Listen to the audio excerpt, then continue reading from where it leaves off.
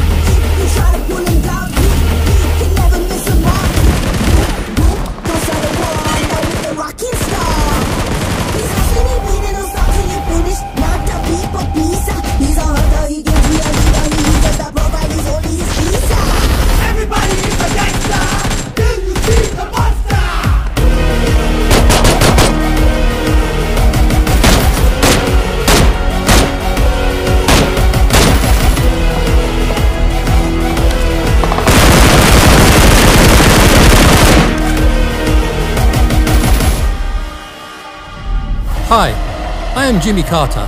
I am the